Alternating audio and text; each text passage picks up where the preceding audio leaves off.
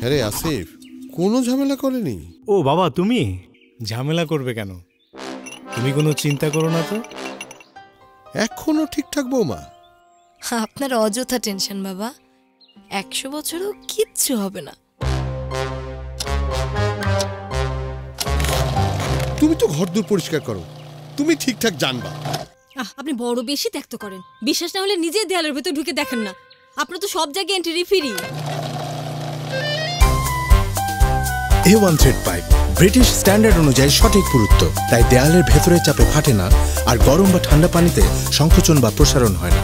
Computerised সিনসি মেশিনে সঠিক thread নিশ্চিত করে একশো বছরের guarantee A one thread pipe life যাবে পাইপ যাবে না।